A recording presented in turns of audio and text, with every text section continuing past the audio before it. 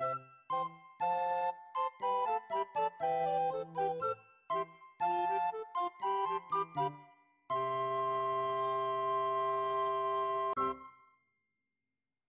いどうも、名古屋の塾講チャンネルをご覧の皆さん、どうも塾者の井野口、どうもこんにちは。今日はですね、問題集参考書紹介シリーズになります。今日、こちら、高校入試超効率問題集、数学になります。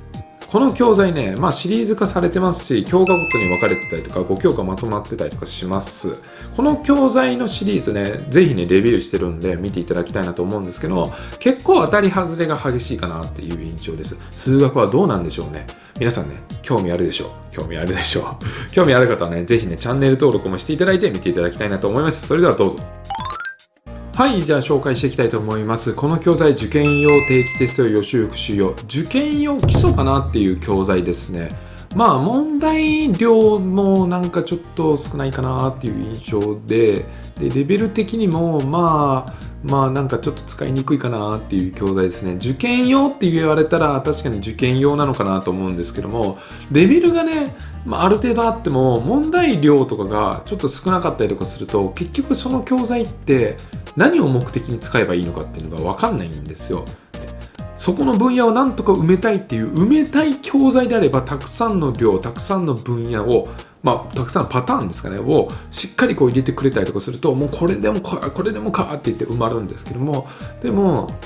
ちょっと問題数が少ないと結局埋まりきらないんですよね。埋まりきらないんでなんで中途半端に埋まってしまう。だったらもう一冊買わなきゃいけないっていう感じになっちゃうんですよ。で問題量がちょっとネックかなと思いますね。レベル自体はまあそんなに悪くはないですよ。受験基礎から標準ぐらいなので、まあ、夏ぐらいから秋ぐらいまでやる。中3のね中3の夏ぐらいから秋ぐらいまでやるっていう教材としてはまあまあ別にね悪くはないかなって思う教材なんですけども。問題量が少ないってなると結局じゃあ受験用教材普通にやってきゃいいじゃんっていう気持ちになっちゃうんですよ。で学校のワークとかでも結構基礎標準って固めてくれたりとかする問題集って使ってたりとかするので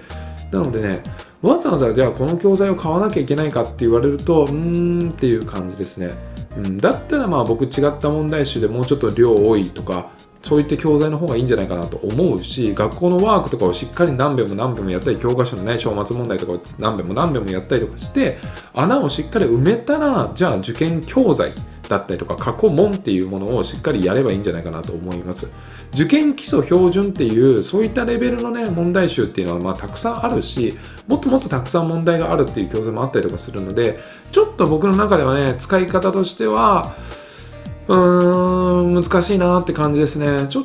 ともったいないところですね。もうちょっと問題量があれば、まあ良かったかなと思うんですけど、問題量がちょっと少ないから穴も埋めれないし、穴も探すこともできないし、うん、単純に演習してるだけ、勉強習慣をつけるとかであれば、まあ別に悪くはないと思うんですけど、ただ目的がね、やっぱり受験で受かるとか、受験の穴を埋めたいってなると、ちょっと物足りなさを感じる、そういった教材だと思います。まあ、ぜひ参考にしてください。参考になったところはね、ぜひね、チャンネル登録、高評価、コメントもよろしくお願いします。じゃあまたね。